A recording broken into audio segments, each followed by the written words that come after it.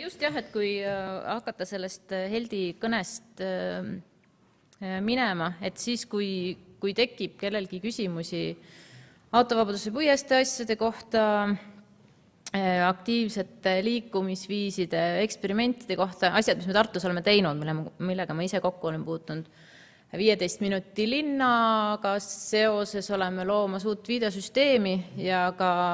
erinevad elurikkuse teemad, et kui keda huvitavad mingid tehnilised küsimused selle koha pealt, siis küsige julgesti. Äh, hakkame siis kaugemalt pihta Tallinnast ja Tartust, mul paluti mõnda Tartu asja tutvustada. Viljandis on järv, Tartus on jõgi, need on põhimõtteliselt erinevad ained või erinevad ainesed, aga mingeid äh, sarnasusi seal on, et vesi on linnaruumis hästi võimalusterohke, ta on hästi atraktiivne, aga samas ka ikkagi nagu väga sihuke äh, trikster element, et ta elu väga lihtsaks äh, meile ei tee. et ma tõmbasin, kui Elo palus mul tulla rääkima Tartu jõega seotud asjadest ehk siis tundus, et meil ei, noh, et tegelikult ei lähe väga hästi, et kui mõelda Tartu peale, siis jah, ilmselt meenub Emajõgi, aga mulle tundub, et ta meenub pigem nagu abstraktse mõistena, et kui palju sa nagu konkreetselt kui sa pole seal ujumas just rannas käinud, et siis võib-olla neid kokkupuuteid jõe endaga noh, ei ole päris palju ja ma hakkasin kokku otsima siis erinevaid niisuguseid äh, võib-olla viimase kümne aasta erinevaid sekkumisi, kus linn on siis üritanud mm, teha nagu seda kontakti jõega natuke paremaks või, või püüda teda nagu kuidagi integreerida inimeste eludesse paremini sisse. ja tegelikult neid näiteid tuli hästi-hästi palju. Ja vaatasin küll, et assa süda, et mul on kakskümmend minutit aega, et ma neid kõiki ära ei jõua tutvustada, ma panin nad enamasti täppidena siia, täppide ja kriipsudena kaardi peale, ma hakkan otsast pihta ja kui meil aeg saab otsa, siis, siis ta saab otsa, et sellest ei ole ka midagi. et see on nagu kõige suurem äh, murekoht, mis, mis võib-olla jõge ja järve eristab mm,, on see, et äh, Emajõgi konkreetselt äh, muudab oma veetaset hästi olulisel määral. Et kui vaadata kesklinna lõiku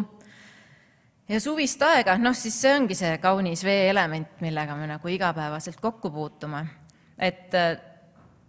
et need, need näited, mida ma siin esimeses plokis välja toon, ähm, tutvustavadki siis erinevaid viise, mis võib-olla noh, saavad siis, mida saab nende, selle töötoa käigus võib-olla kuidagi äh, kuklas meelde jätta, et kuidas me oleme üritanud siis nagu neid seinu lõhkuda või, või inimesi veele lähemale tuua. Äh, oled siin? Äh, siin. Äh, Delta keskusest esmalt, et hästi äh, tore juhus, et Tartu linn pakkus ülikoolile võimalust üks oma uutest õppehoonetest tuua kesklinna, et enamasti on ülikooli õppehooned kas mööda vanalinna laiali, et seal on siis erinevad humanitaarained ja loodusmeditsiin on siis viidud sinna haigla juurde kampusesse kaugemale. aga ülikooliga kaasas käib hästi palju inimesi Mm, et see aktiveerib nagu inimeste käimine ja nende pilgud ja nende kohalolek aktiveerivad linna väga-väga äh, tugevalt, et see oli hästi hea võimalus, et ülikool äh, võttis võimalusest kinni ja tõi äh, oma uue IT-maja hästi-hästi kesklinna. ja, ja huvitav on veel see, et tegelikult see haukas Ülejää pargist päris paraja tüki ära, aga sellest kuidagi seekord ei tõusnud väga suurt mässu, et, et see, see maja kuidagi maandus nagu sinna pargi nurka hästi, äh, hästi pehmesti. Mm, et see mm, jõe vasak kallas on tegelikult hästi järsk, et kes on Ülejää pargis äh, jalutanud, et nad on enamasti äh, munakividega kindlustatud ära, need, need nõlvad, et see on natukene kõhe ja see, et iseenesest need trepid sinna tekkisid, see noh, muutis totaalselt selle koha iseloomu ikka väga-väga kõvasti, et sinna varem noh, see praktiliselt ei sattunudki üldse, et on noh, see park on, on pime, see kaldapealne on hästi kõrge, et kontakti veega oli seal hästi vähe. Ja nüüd meil on pigem, eelmine aasta oli noh, mure ja probleem sellega, et meil on siin inimesi nii palju, et nad ei mahu siia ära, nad äh, hakkavad seal noh, viibivad seal kakskümmend neli tundi ööpäevas, käratsevad, rüselevad, vetelpääste pidi sekkuma, pidime prügikaste juurde tooma, et see oli tohutult, tohutult populaarne. järgmine koht, oled siin ehk siis hästi kesklinnas, Rae platsist kohe eh, teisele poole Atlantise kõrval ees. ehk siis projekt, mis ei ole veel realiseeritud, aga mida ma õudselt ootan. ma panin võrdluseks äh, ühe taevavaate siia ka, et kui äh, ma räägin küljega natukene, et praegu äh, eksisteerib see ülemine rada, mis läheb siit selle taldriku alt läbi ja kust saab ka hoonesse sisse. Ja eksisteerib siis ka hästi järsk trepp, mis viib sinna alumise selle platvormi peale. Et noh, neid on praegu, praegu kaks tükki, et projekt pakub siis välja kolmanda äh, raja, äh, mis on äh, noh, rampidena ilma trepiastmeteta, samamoodi sa saad rambiga nagu siia alla, et, et me lubaksime nagu kõikidel, kes, kes trepist ei jaksa ronida, et suudaksime ka neid veele lähemale tulla, pluss see, et nüüd see alumine platoo on veel madalamal, kui, kui see praegune on, ma näitan kohe sellest paari lõiget ka ja ülejäänud osa siis on sellised puidust astmed, platvormid, et sul oleks võimalikult palju äh, seal äh, sellist viibimiskohta, sest et ta on ilmakaarte suhtes täiesti ideaalses asukohas, et päike tegelikult pöörab niimoodi hommikust kuni õhtuni, noh, istub sul, istub sul seal näos, et õudselt, õudselt hea. Äh, mul on siin kaks lõiget ka, kuhu ma võtsin õiguse kolm sinist kriipsu peale tõmmata, et siin on et miks ma, miks ma tõin välja selle, et see veetase on õudselt probleemne. et siin on siis toodud välja kevadine, kevadised kõrged ja suvised põhimõtteliselt niisugused tavalised veetasemed. ehk siis, kui seista suhteliselt Kaarsilla juures, noh siis kõige kõrgem osa, mis kunagi ei tohi üle ujutada, on noh, täpselt nii kõrgel sellest suvisest veetasemest. parem kallas, mis on siis äh, vanalinna poolse külje peal et selle see põhitee on sellest oluliselt madalam, aga noh, ikkagi see distants on päris äh, vinge ja siis see vasakkalda alumine platoo on siin kõrgusel, aga kui võrrelda seda, seda selle kevadise kõrgveega, et siis see on ainuke, mis, mis üsna regulaarselt äh, ujutab üle. Aga ega sellest midagi ei ole, et kui vaadata siis nüüd ühte äh, sarnast nõksu sellest,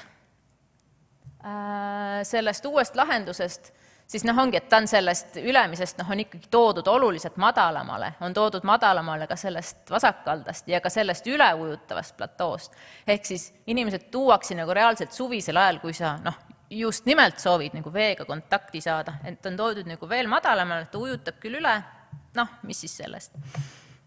Eh, paraku on see jäänud väga pikkadeks aastateks seisma, millal sest midagi saab, mina ei tea. Eh, oled siin äh, ka üks seeria platvorme, millega mul oli au ise seotud olla, et siin oli lugu selles, et siin on suhteliselt katkematu viirg pajusid kalda ääres, aga siin ühes kohas on auk sees, sest sealt liikusid üle vanasti need liinid mida siit näha ka, et need liinid võeti ära, aga auk puude vahele jäi alles ja sooviti samamoodi kindlustada seda kallast natuke, äh,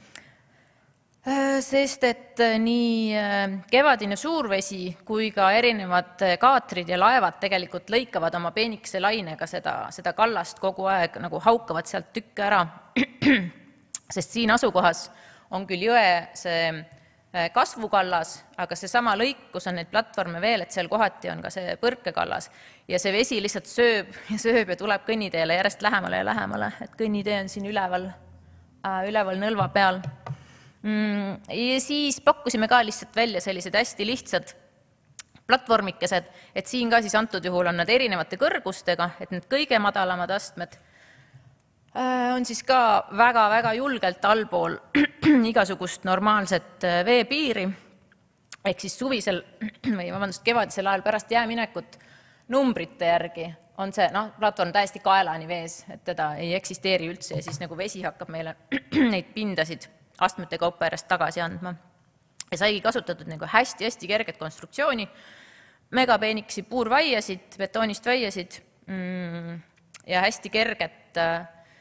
aluskonstruktsiooni ja kattena siis seda taaskasutusplasti ja puidu segust tehtud seda laudist, et ta siis võimalikult kaua seal,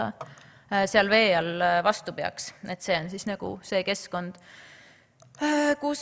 kus oli siis erinevate kõrgustega võimalik inimesi viia,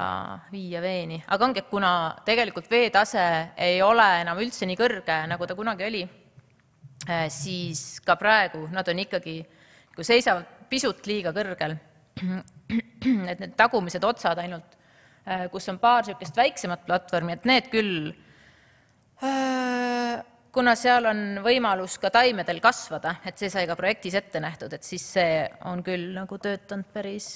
päris toredalt. asud siin ääres. et see on üks Kino maastikuarhitektide eskiis, millest kindlasti Mirko teab oluliselt paremini, kui keegi tahab pärast küsida aga kaks tuhat kaksteist äh, korraldati Emajõe kallastega seotud ideevõistlus, kuhu võis pakkuda siis tõesti noh, ükskõik mida, noh umbes nagu meie siin täna teeme välja. Ja võidutöö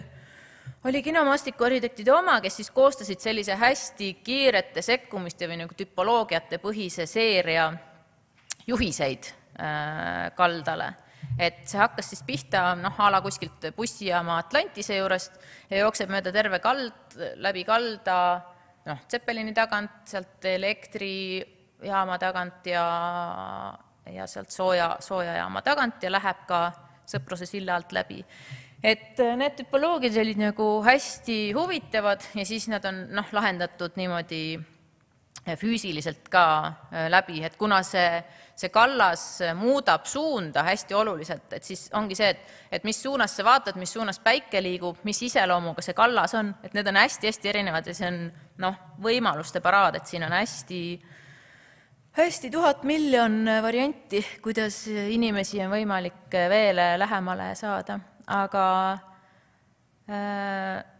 tema selles töö pluss ongi see, et ta on nagu töövihik või nagu selline juhiste kogum, et siit võib võtta teda tüki kaupa, et meil on äh, uues koalitsioonilepingus on sees midagi a la jõe äärde elavdamine või midagi taolist. et no ma tahaks, noh, ootan huviga, et millal öeldakse, et hakkame siis nüüd sellega pihta. siis on sillad, üks žanr, mis küll järve puhul ei ole nii teemas, aga antud juhul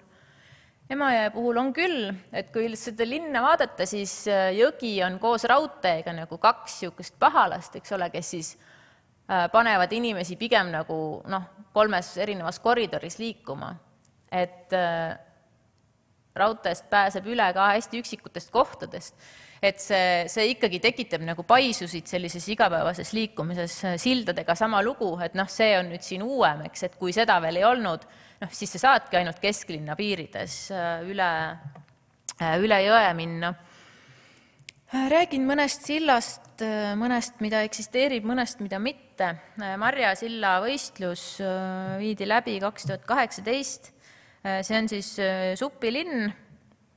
Eh, kus ühendada oleks võimalik, vaatan, kas mul on kaarti ka, ei ole, kus saaks ühendada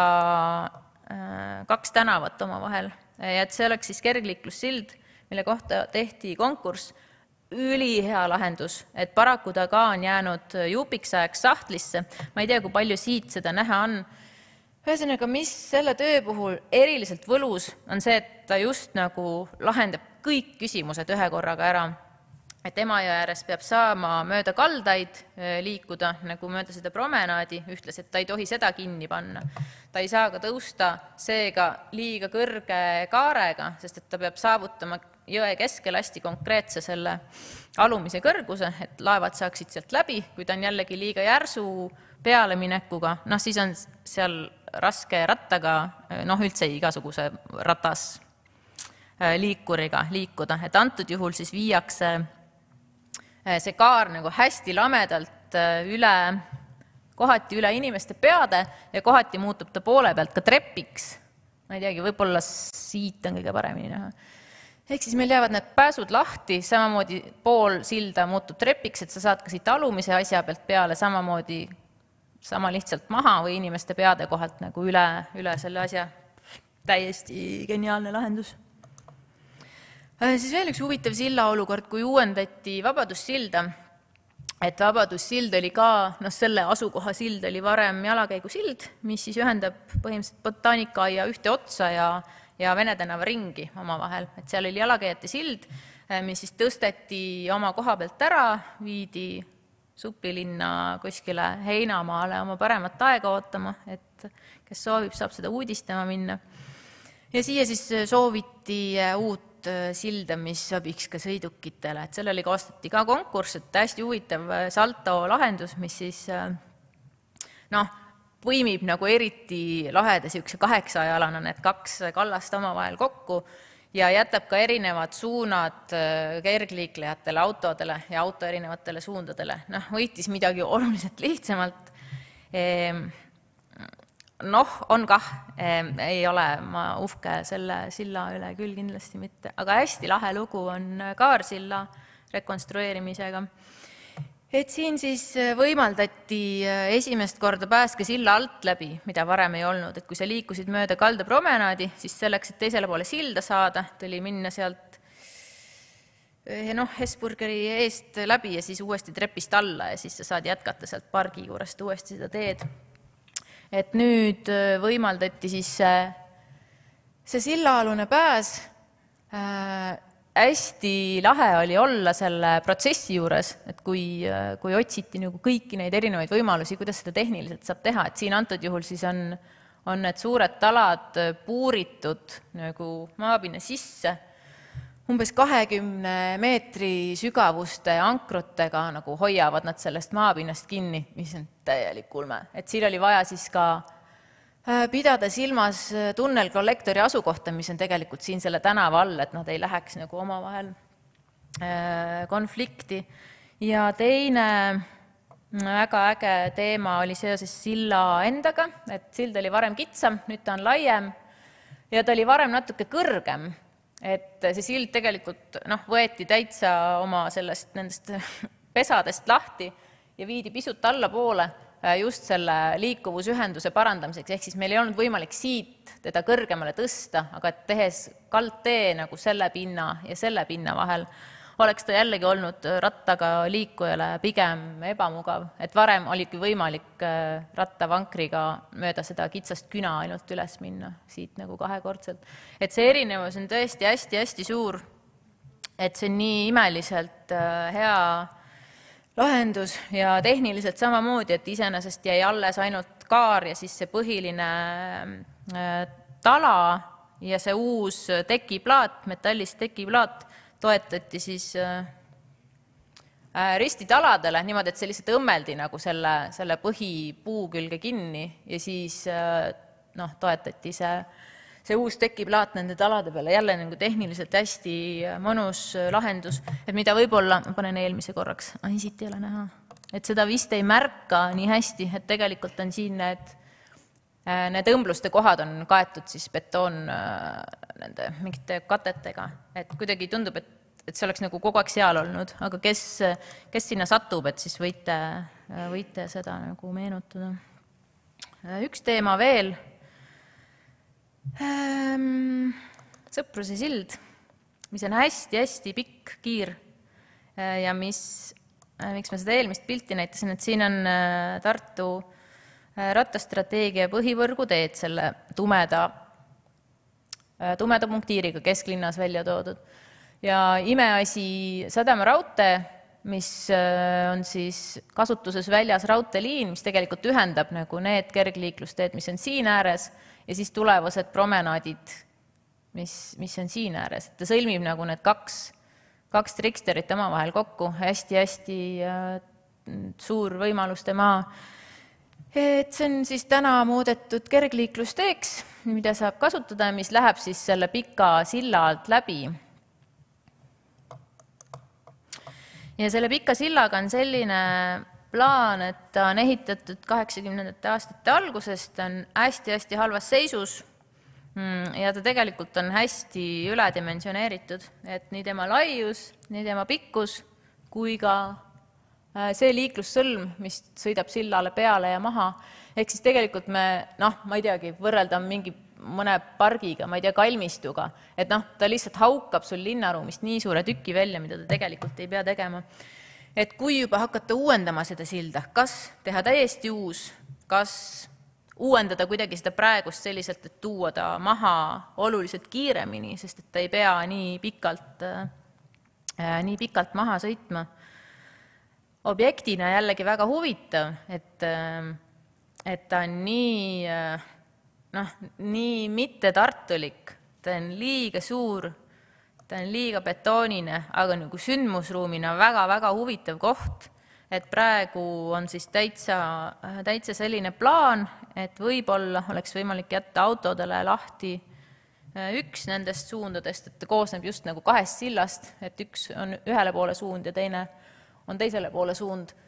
et iseenesest, kuna siin liikluskoormus nii suur ei ole, et jätaks selle ühe poole autodele ja annaks teise poole äh, inimestele lineaarpargiks, aga vaatame, mis sellest saab. megaambitsioonikas plaan, see oleks täiesti hullumeelne, kui see saaks teoks. elame-näeme. rohkem ei ole mul aega, siin on teisi mingeid tuti-fruti näiteid ka, jõepaarid näiteks, mis on ka nii lihtne sekkumine. kolm hoonestusõigust, inimesed peavad paari, tohutu melu järsku jõe ääres kõik probleemid lahendatud. ja lõpetame siin